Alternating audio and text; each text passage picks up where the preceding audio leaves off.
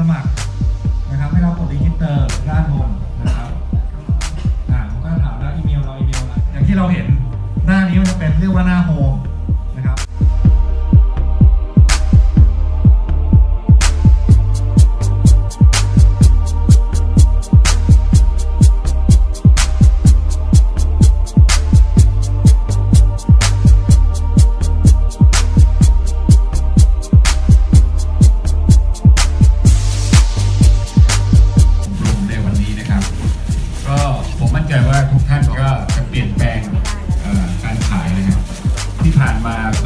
ขายแบบไม่มีไม่มีเอ่อ